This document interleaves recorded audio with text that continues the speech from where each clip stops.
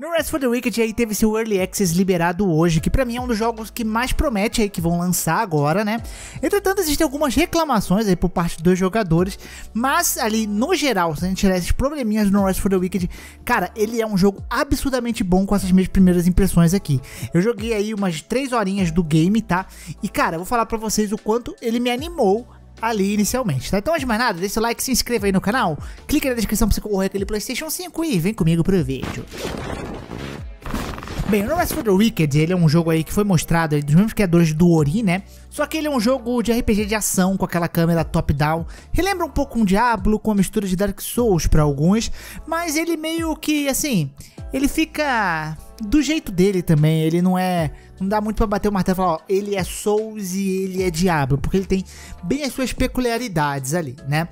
O jogo ele conta a história de uma praga e você é um dos Serins, né? Que é um grupo ali sagrado de guerreiro que tem poderes que é justamente para combater essa praga ou pestilência, né? Só que meio isso, a tipo o falecimento do rei, é, a igreja tentando meio que se promover em meio a essa pestilência. Então tem vários contextos, pessoas, populações, políticos ali em volta da história do jogo. E uma coisa que eu achei muito legal é que, embora os bonecos sejam meio esquisitos, até a customização é, é meio impossível você conseguir se fazer, né? Eu tentei fazer aqui um personagem que era pra aparecer comigo, ele ficou parecendo o seu Madruga, né? Mas é, nas cutscenes ali, as expressões faciais dos personagens são muito boas. Embora você não consiga criar um personagem bonito, os personagens até que são interessantes fora você.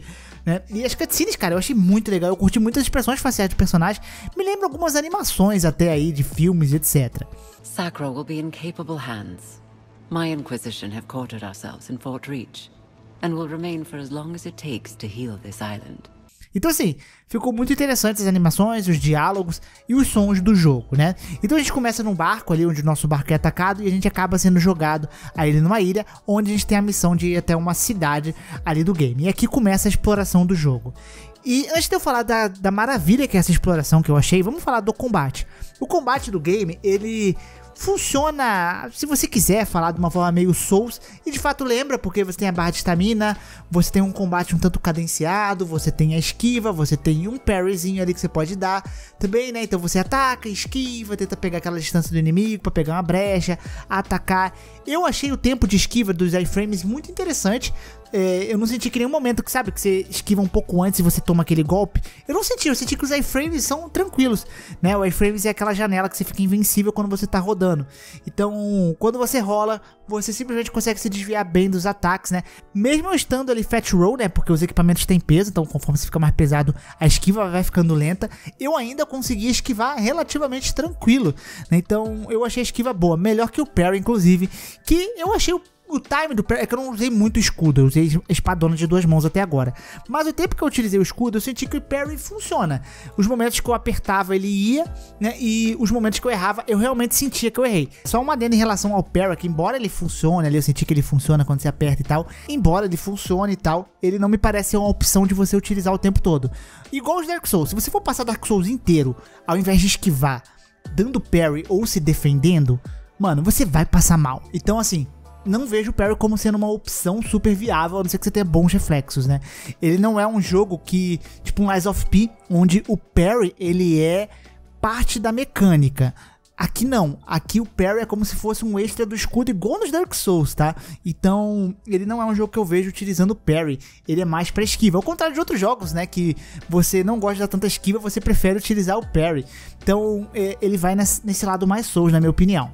Eu também senti que tem pouca estamina, então alguns ataques e uma esquiva você meio que já tem que ficar afastado do inimigo ali, o que isso pode complicar em grupos de inimigo, né? E você tem ali o outro elemento que eu diria que vem dos Souls, né? Pelo menos o Souls popularizou, é a escala. Então tem armas que escalam com força, então você tem que upar força, né? Ele tem atributos ali e você upa ali esses, esses, atributos e eles vão escalar com as armas e tal, né? E também é uma coisa que ele já se desvencilha do Souls é que você não tem bonfires, né? Esses checkpoints. Então você upou o personagem, você entra no menu, você já automaticamente coloca ali os atributos que você quer. Se você falecer, né, tem alguns pontos de checkpoints, você voltando para esse ponto de checkpoints, os inimigos eles não renascem. O que acontece de penalidade ali é você perder a durabilidade da arma, né? E você tem que ir lá, né, reparar num ferreiro.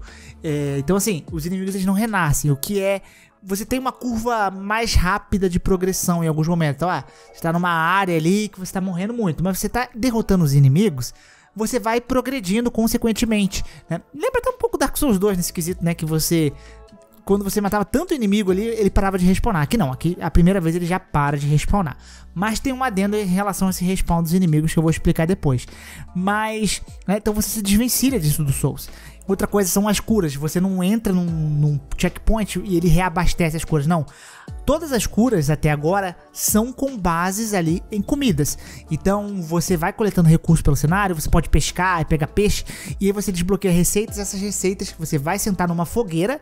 Essa fogueira não é um checkpoint, é realmente uma fogueira aleatória que aparece no mapa. E você pode lá cozinhar, fazer ali é, essas coisas que vão servir justamente para você curar seu personagem. Você pode utilizar os ingredientes para se curar também, mas eles não são tão efetivos quanto, né?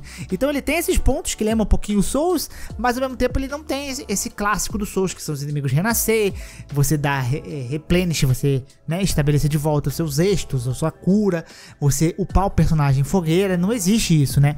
O combate que acho que se aproxima um pouco o estilo das armas, talvez. E o Diablo que ele vai um pouquinho em alguns estilos, né? Por exemplo, você tem armaduras e armas que elas, além né, de você ter os atributos que escalam com é, força, destreza, por exemplo, você tem é, itens amarelos, itens brancos, slots que você coloca é, tipo runas, né, que são passivas. Você pode colocar runas nas armas que dão habilidade para as armas. Então as armas têm habilidades que você pode equipar, tipo, girar ou colocar uma cura na arma. Então as magias meio que funcionam assim.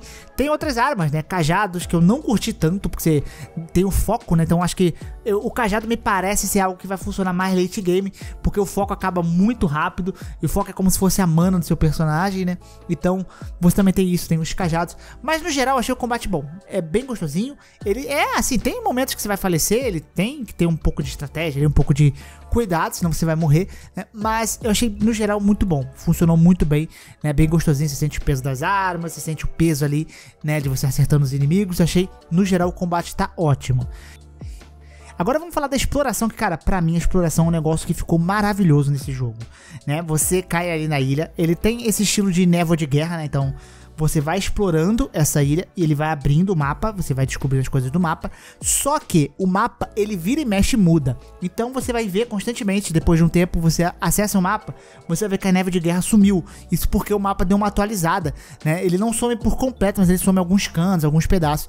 Isso porque o mapa atualizou. Mas vamos lá. Cara, o mapa eu achei muito gostosinho de explorar. É, ele me deu muito sentimento de um Tears, de um Elder Ring, e até talvez um Baldur's Gate, que é aquele mapa que, tipo assim, você tem um objetivo, mas você vai se perdendo no mapa de tanta coisinha que você tem ao redor, né? Por exemplo, eu tava numa área ali que eu falei, caraca, isso aqui é um trecho com água aqui, né? Eu vou me jogar aqui pra ver. E, tipo, o seu personagem, meu personagem podia nadar e eu consegui lá no canto da água que tinha, tipo, uns destroços de navio com baú com itens. É, muita coisa com baú, muita área que você pode pular, vinheira pra, pra você escalar, né? Tem uns palanques, você consegue acessar áreas que às vezes você acha ou até pode passar desapercebido e você vai encontrar inimigos, recompensas, itens ingredientes, armas, armaduras. Então eu gostei muito da exploração desse game até agora. Ela é muito assim, você sente que o tempo todo você tá avançando, você fala, cara, Será que eu deixei alguma coisa para trás? Porque tem alguns detalhezinhos que você não nota. Então, a exploração eu achei ela bem rica, né? Eu achei ela bem gostosinha de se fazer. É, eu fiquei muito tempo ali explorando, procurando itens, ao invés de pro objetivo principal, porque era divertido fazer. Você sempre tá descobrindo coisas novas, às vezes inimigos novos, né? Tem uma hora que eu encontrei uma caverna ali, que teve toda uma quest grande dentro da caverna ali, que eu tive que fazer, eu fui até recompensado por ela. Então, assim, é uma exploração muito legal além da parte principal. Tem muita coisa, muito detalhe, muito cenário. Eu, eu cheguei na cidade, cara, a cidade é enorme, muito NPC, quest, coisas para você fazer.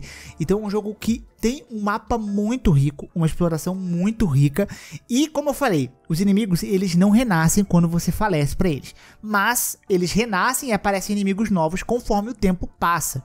Então, é, depois de um tempo que eu cheguei na cidade, eu fui voltar no mapa que eu tava. Apareceu itens novos, apareceu baús novos, se eu não me engano, porque eu tenho certeza que eu não passei direto por um baú que tava ali na minha cara. É, eu peguei uma espadinha nova, inimigo que tava ali em posições diferentes. Então o mapa ele atualiza e é tudo feito manualmente. Nada aqui é procedural. E isso dá um charme a mais pro jogo. Então o jogo tá constantemente falando assim, ó pô, se eu voltar aqui, eu vou encontrar coisas novas, vou encontrar inimigos, itens novos, porque, tipo, tava de noite, agora tá de dia. E isso eu achei maravilhoso. O mapa desse jogo me parece tá incrivelmente bom. Foi o que me chamou muito mais atenção até que o combate. Eu gostei bastante da exploração dele e me vejo dezenas de horas aí explorando mesmo nesse Early Access. Agora vamos aos problemas do jogo, que é onde tá dando ali a galera comentar que ele tá até com umas notas baixas ali na própria Steam, né? Que é justamente a otimização dele. É, ele assustou o pessoal porque quando eles revelaram ali o, os requisitos do game, ele tava pedindo uma 3070, mano. Uma 3070 Ti pro gráfico recomendado. Um negócio extremamente pesado para um jogo que você olha e fala, mano, esse jogo é bonitinho, ele tem seu estilo artístico, ele é bonito, mas pesado não parece, né? Tudo bem, a iluminação, o ambiente ali, quando chove e tal, ele realmente você vê que ele tem muitos detalhes, assim. Mas eu achei pesado demais pro que pedi ali. E realmente o jogo tá pesado. Assim, eu não tive quedas, eu tenho uma 3060 e deixei no máximo ali. Eu não tive quedas abaixo de 30. Mas chegar a 60 FPS nesse jogo é sofrido por enquanto. Ele roda entre 40 e poucos FPS. E quando dá aquelas quedas ali, né, nos momentos que eu fiquei medindo, ele caía no máximo ali pro 38, 35. Então, né, e, uma, e às vezes eu tinha umas engasgadinhas que ele acontecer, tipo, você sentia que dava uma travadinha assim, tipo um stuttering, mas que era quando você tava transitando de áreas. É, não é aqueles stutterings aleatórios, que às vezes você tá andando, o jogo dá uma travadinha, não. Era algumas transições de áreas que eu sentia isso. Mas fora isso, o jogo rodou entre aspas, fluido nessa faixa de FPS aí, né? Mas às vezes sim, tem uma oscilação e tal, então você sente que ele tá um pouco pesado. Aí eu acho que talvez né, seja o defeito aí do jogo agora, mas ele tá em Early Access, né? Então é algo que eh, eu acho que tá dentro do esperado. Aí é justamente para isso o Early Access. Porque eu vi gente dando nota baixa falando, nossa, esses jogos de hoje tudo sai mal otimizado. Só que, tipo, nesse caso aqui, é entendível ele sair mal otimizado, porque é um Early Access, um Early Access, senão eles lançariam a versão completa do jogo, né? E não, eles estão lançando o Early Access, então justamente pra isso. Mas claro, é óbvio que o feedback é necessário, é, você negativar o jogo, você tá dando um feedback que é para chamar mais atenção dos desenvolvedores para lançarem. Eu sei que se eles, quando eles forem melhorar isso, o jogo vai eventualmente melhorar as análises pela Steam. Então é, é um feedback necessário da galera, claro, né? Não, quem tá criticando tem que criticar, porque você tem que passar seu feedback. Só que eu vi algumas pessoas comentando como se fosse algo errado ele tá com esses problemas de otimização, como se ele fosse um lançamento. Ele não é bem um lançamento. Né? Mas tenham aí em mente que sim, ele tá com problemas de otimização e dependendo aí da sua placa gráfica, ele vai vir a pesar mais. Outra reclamação da galera está em relação ao teclado e mouse, que se você joga no teclado e mouse, pensa um pouquinho antes de você pegar, porque a galera falou que não tá tão legal de jogar no teclado e mouse e ainda eles não têm a opção de você mapear teclas. Pois é, uma opção meio básica que poderia vir já nesse Early Access, não tem. Então, pô, se você não gostar da configuração de tecla do teclado e mouse, você vai se frustrar porque você não pode mudar. Tudo bem que daqui a pouco sai uns mods aí que deixa fazer isso, né? Mas óbvio que isso aqui tem que ser uma opção oficial do game. E eu joguei no controle onde funciona super bem. Né? Basicamente é isso aí sobre o jogo, né? É, é um jogo, cara eu acho que ele tem muito potencial. Esse jogo aí, melhorando esses probleminhas dele, ele tem tudo para ser um título do, do ano, um dos melhores títulos do ano, eu acho, cara. Se esse ritmo de exploração continuar, detalhes no cenário, inimigos e descobertas que eu tô tendo no jogo, eu tô achando tudo maravilhoso, né? Com, é, com exceção desses detalhes de problema que ele tá tendo de lançamento. Fora isso, cara, jogo fenomenal, jogo muito bom, né? E tem muito potencial, cara. Parece que tá sendo feito com muito carinho, né? E eu vou jogar muito mais dele aqui, porque eu quero descobrir os detalhes, cantos, segredos desse jogo, porque ele parece ter muita coisa. E isso é no Rest for the Wicked, né? Espero que vocês tenham gostado desse vídeo. Um grande beijo, um grande abraço, um beijo, até a próxima e tchau, tchau.